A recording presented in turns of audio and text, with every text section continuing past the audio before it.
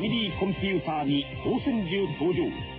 コントローラーを電子銃に持ち替えてワイルドガンマン西部のならず者相手におままい不良の腕比べ。次にダックハント一人はコントローラーでカモを操り一人はハンター。そして圧巻だけを狙い撃つオーガンズアレイ。どのカセットも同じ電子銃で楽しめるファミリーコンピューター。